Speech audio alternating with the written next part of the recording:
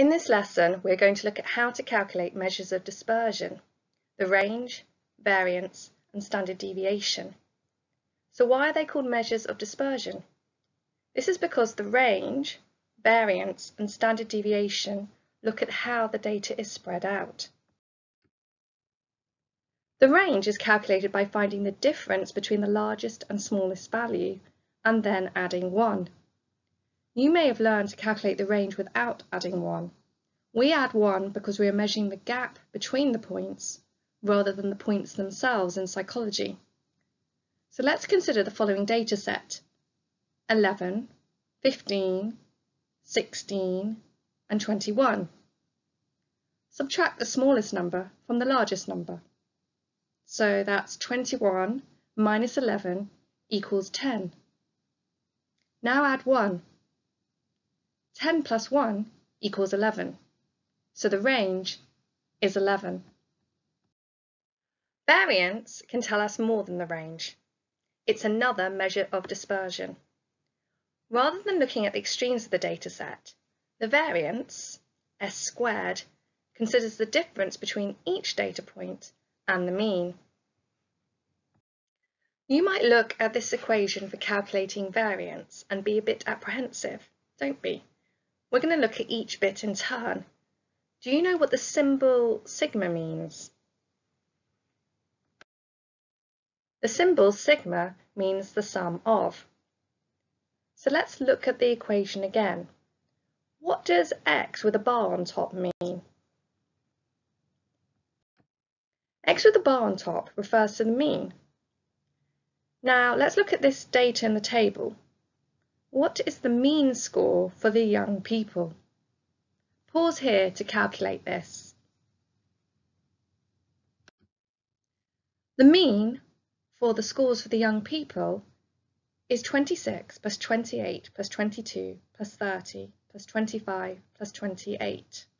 And then we divide by 6 because there's 6 different scores. And this gives us a mean of 26.5.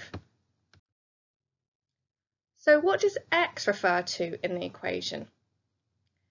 x refers to each piece of data collected. So look at the table now. Each score is one piece of data. So what are the different x values for the young people? The different x values for the young people are 26, 28, 22, 30, 25 and 28. Now what do you think n stands for in the equation? N stands for the number of pieces of data. So for the young people, there are six pieces of data. There are six scores for the young people, so N equals six. At the bottom of the equation, it says N minus one. So as there are six scores, N minus one is going to be six minus one, which equals five. So this is an equations cheat sheet. It tells you what each part of the equation means. X is each individual data point. X with the bar on top is the mean of the data set. The sigma symbol is sum of, and n is the sample size. Okay, let's try and work out variance of this set of data. 1, 2, 2, 3, 4 and 5. You can use a table to help you work out variance. Now you fill in the rest of the data for x.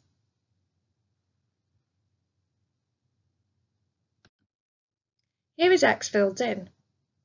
Now you need to calculate the mean, which is x with a bar on top, for this set of data. So x bar is going to be 1 plus 2 plus 2 plus 3 plus 4 plus 5 divided by 6 equals 2.83. Now fill this in on the table. Pause here to do this. Here's the table with the mean filled in. Now you can use the third column of your table to work out x minus x bar because you can see that that is in the equation for variance. So we're going to do it for each data point. So for the first one, it's going to be 1 minus 2.83, which equals minus 1.83. So pause here to work out the rest of them. Here's the table with x minus x bar filled in. Now if you look at the variance equation, it has x minus x bar squared, so we need to do that next. I've done the first one for you in the table, and you can see that x minus x bar squared for the first piece of data is 3.35. That's because it's 1 minus 2.83 squared equals 3.35. Now you pause here to work out the rest. Here is the table with x minus x bar squared filled in. Now you need to calculate the sum of x minus x bar squared, so you add up all the figures in the final column. So we work this out by 3.35 plus 0.69 plus 0.69 plus 0.03 plus 1.37 plus 4.71 equals 10.84. The next thing we need to do if we look at the equation is we need to divide all of this by n minus 1. So what is n for this set of data and what is n minus 1? Pause here to think about this. n equals 6 as there are 6 pieces of data. So n minus 1 equals 6 minus 1 equals 5. So s squared equals 10.84 divided by 5, which equals 2.17. We've now calculated variance. This table shows the full calculations altogether for working out variance for this set of data.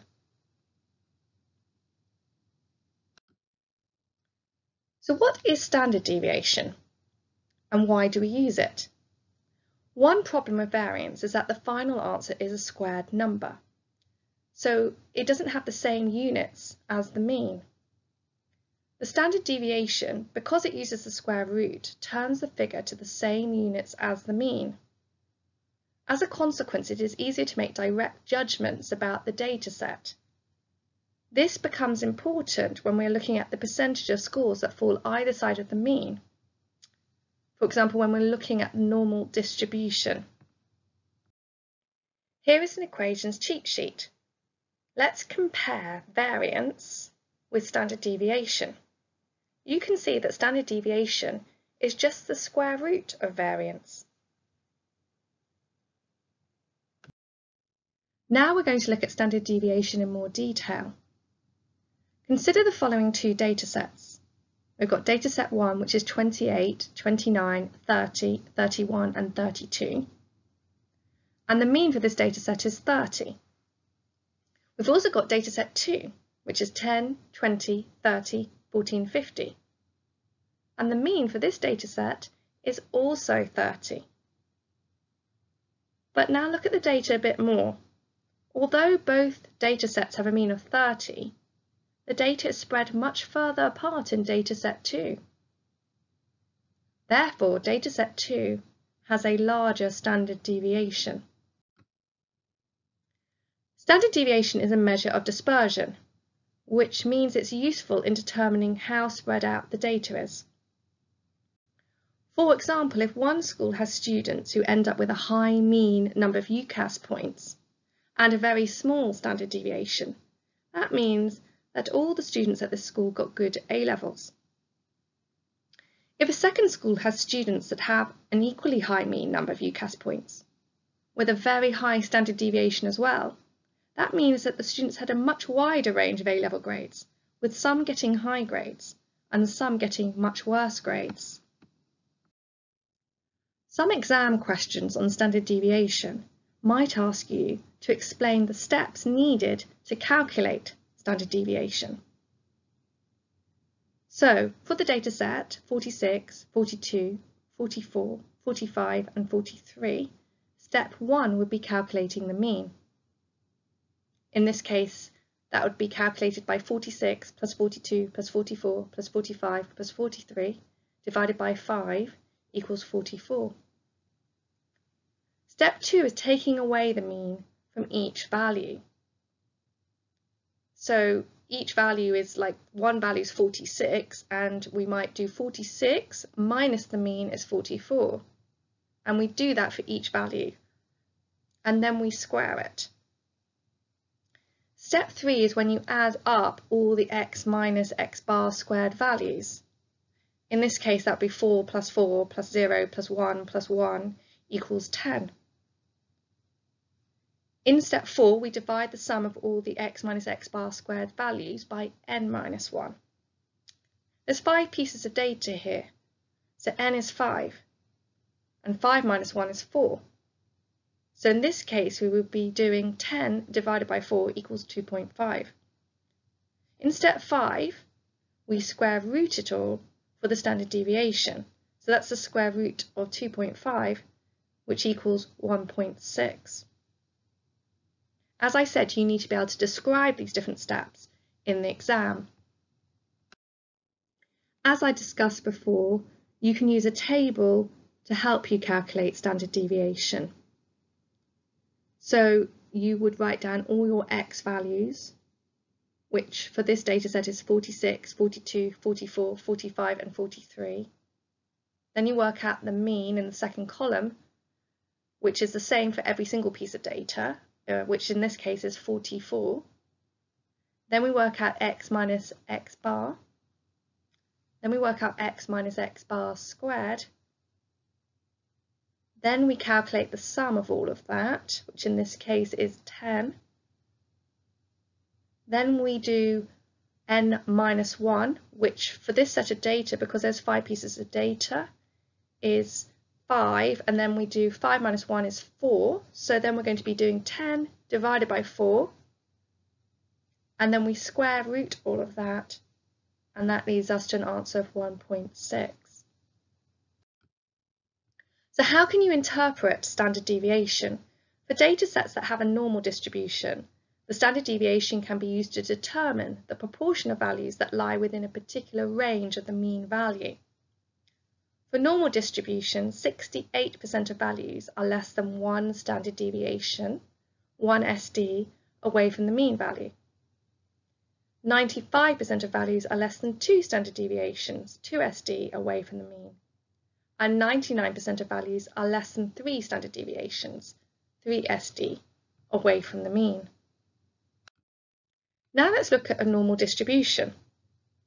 IQ is normally distributed in the population. Most people have an IQ in the middle.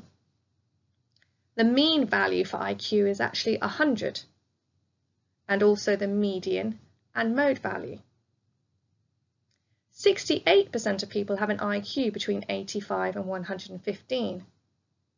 An IQ of 85 is only one standard deviation away from the mean if we remember that the mean is 100. 95% of people have an IQ between 70 and 130. An IQ of 70 is two standard deviations away from the mean. So standard deviation is showing us how spread out the data is.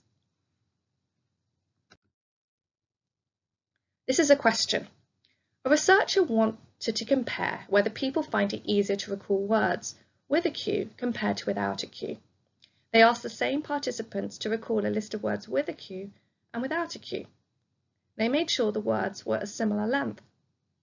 The results are given in the table.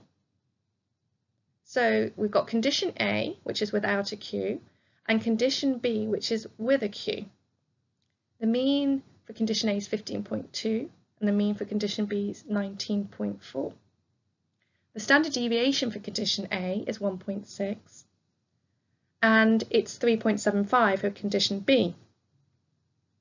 So what conclusions might the researcher draw from the data? Refer to the mean and standard deviations in your answer. So first of all, talk about what the mean shows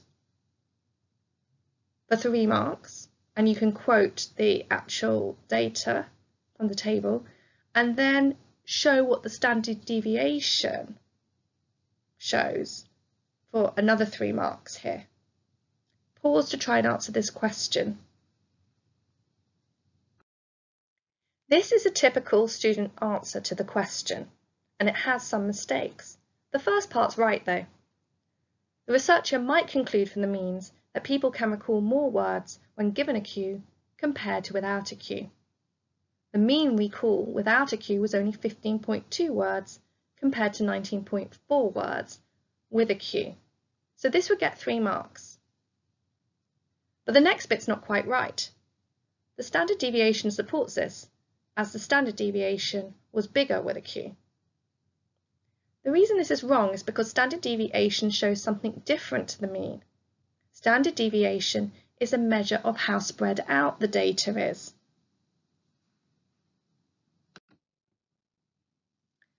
So, what could they have written? The first part of the student's answer is correct. The mean scores show that participants could recall more words with a cue than without a cue. The mean recall without a cue was only 15.2 words compared to 19.4 words with a cue. So what could they have said about standard deviation to show that it shows how the data is spread out? I've written this in red on this slide. The data shows that when participants are not given a cue, then the number of words recalled is less spread out than when they are given a cue. The standard deviation of 1.6 in condition A compared to 3.75 in condition B shows that the number of words recalled by participants without a cue is more similar in condition A. As the standard deviation is small in condition A, you can see that it must be less spread out. The bigger the standard deviation, the more spread out the data is. Now let's try and work out standard deviation for this data set. We looked at this data set earlier and it's 1, 2, 2, 3, 4 and 5. We already found that the variance was 2.17 earlier. So the standard deviation is just the square root of 2.17.